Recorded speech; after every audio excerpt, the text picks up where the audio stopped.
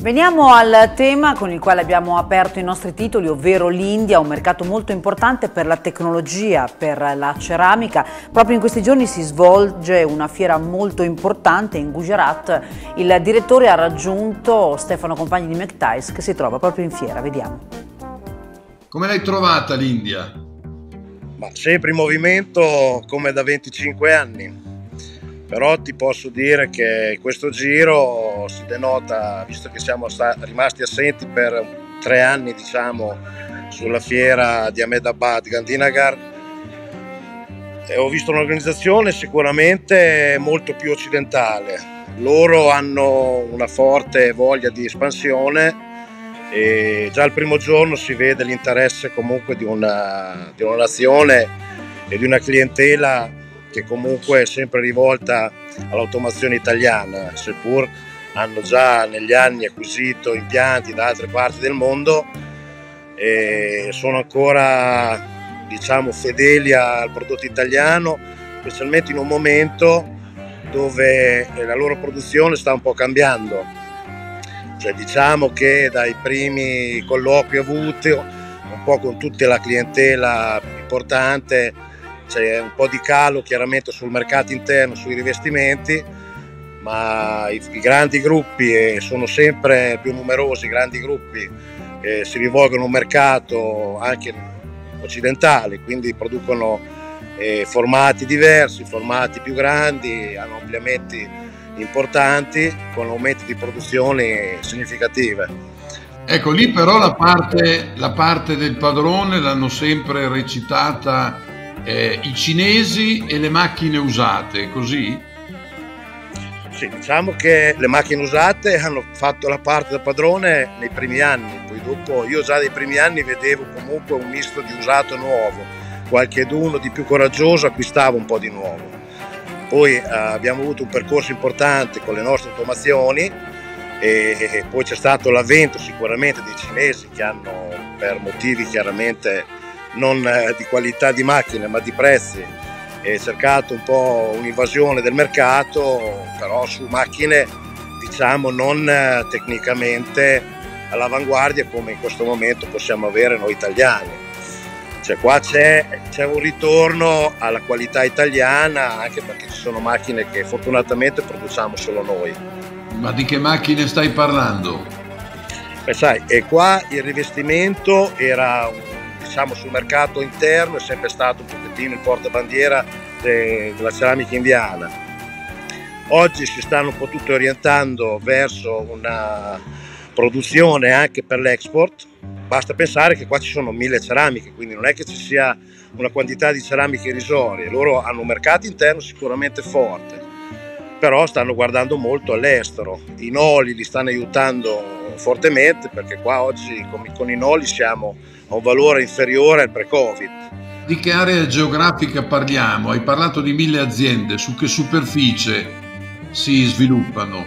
Ma il 90% è in Gujarat, quindi è Morbi, tra Morbi e Gandhinagar, comunque è una, un'area molto ristretta. Si può parlare di distretto? Distretto di Morbi è il distretto che copre il 90% della produzione. E lì il mercato, come va il mercato della ceramica? Cioè è talmente grande l'India che immagino che queste aziende non abbiano problemi a collocare il materiale. Ma guarda, qua il, il mercato interno è molto forte. Chiaramente hanno sviluppato dei prodotti, se vuoi, eh, come formati diversi dai nostri, perché hanno un forte aumento di richiesta su un formato tipo l'800 x 2400 che è una eh, simil lastra ma non è la grande lastra che produciamo noi. E questo formato sulla base di questi formati si sta muovendo sia nel mercato interno che eh, in Turchia, tutta l'Europa, gli Stati Uniti, il Golfo soprattutto. Stanno ampliando tantissimo il loro export questo è un punto di partenza dovuto anche al fatto che in una regione come il Rajasthan hanno delle, tantissime cave con delle materie prime molto buone, quindi loro hanno già eh, da anni un pochettino eh, utilizzato materie prime locali. Lì si sta focalizzando tutta diciamo, le parti delle miniere e dei vari prodotti che servono per il porcellanato E unito al fatto che il paese è in forte espansione, cioè oggi la prima pagina dei giornali nazionali riporta che lo Stato ha acquistato 470 tra Airbus e Boeing, quindi penso che questo denoti il fatto che eh, lo Stato voglia aprire ad altri mercati, cioè non stiamo parlando di piccoli numeri, capito? Parlavo oggi con un fornitore qui a Sassuolo, mi diceva, ero da lui, vedi queste macchine? Sono già pronte ma non le mando perché dall'India non mi arriva il pagamento. È una cosa isolata o tirare a casa i soldini è sempre più faticoso da quel paese? Guarda, io lavoro con l'India dal 1994-95. Io non ho mai avuto problema di pagamento. Cioè, gli indiani sono veramente molto bravi, cioè, io posso spendere solo bellissime parole per loro. Poi, casomai, un caso può capitare, ma non, a me non è mai capitato, questo ti posso assicurare che nella mia classifica sono tra i migliori pagatori. Nella, nella fiera eh, iniziata oggi, immagino ci siano anche le ceramiche. Dal punto di vista estetico di qualità del prodotto, ormai ci hanno raggiunti?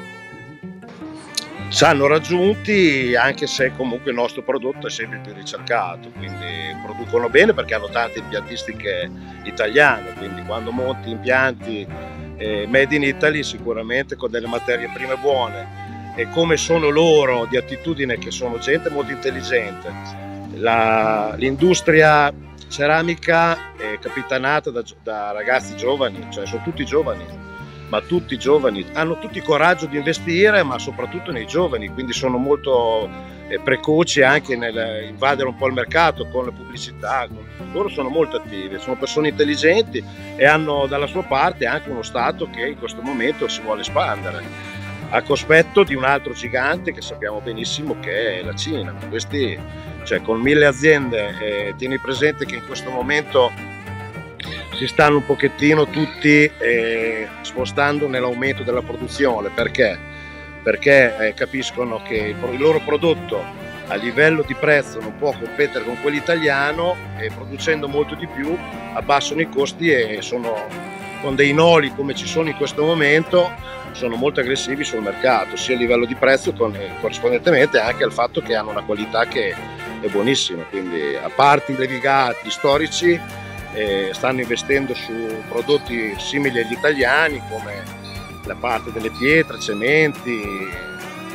Io ho visto una, una crescita importante, ma anche a livello organizzativo, anche di ente fiera. Eh. Vi ripeto, dall'ultima fiera che sono, cioè io ho partecipato nel 2019, anche a livello di ente fiera sono molto organizzati.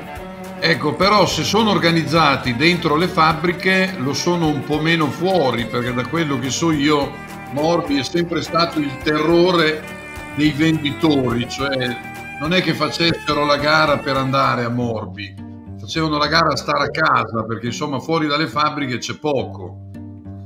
No, ti ripeto, è un distretto ancora da ampliare, anche da modernizzare, sicuramente anche solo a cospetto del pollution, della filtrazione, di tutto quello che si dice un po' su tutte cose reali.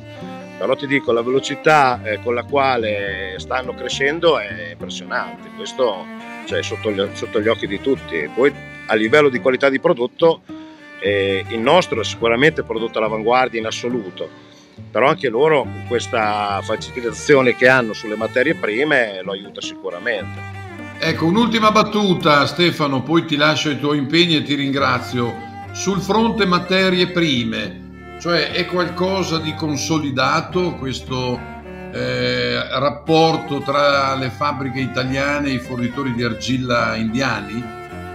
Guarda, sentir loro in questo momento hanno richieste non solo dall'Italia, quindi eh, come, come, lavorazione delle materie prime negli ultimi 3 o 4 anni sono cresciuti molto, sono in grado di, di esportare quantità importanti cioè, eh, senza nulla togliere al fatto che loro consumano tanto, ma già di per sé, perché poi le fabbriche qua a livello di metri quadri aumentano annualmente, ma io ho visto negli anni che c'è una crescita costante, cioè i 30-40 impianti nuovi tutti gli anni ci sono, in un distretto che comincia a essere veramente caro anche per loro, perché comunque eh, a livello di logistica, acquisto di terreni, è tutto basato sulla richiesta, c'è tanta richiesta in questo momento, quindi anche per loro i prezzi sono saliti.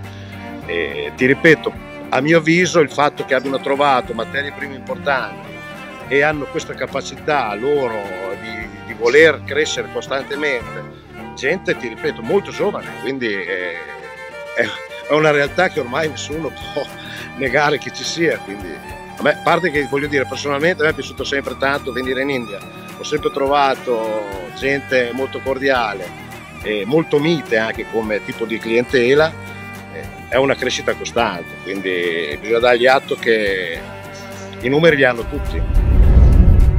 Pensate che il sud-est asiatico per eh, chi produce tecnologia per ceramica è il secondo mercato in quantità di export. Il settore italiano ha venduto nel 2021 nel sud-est asiatico oltre 270 milioni di euro e l'India ovviamente è uno dei mercati principali dell'area.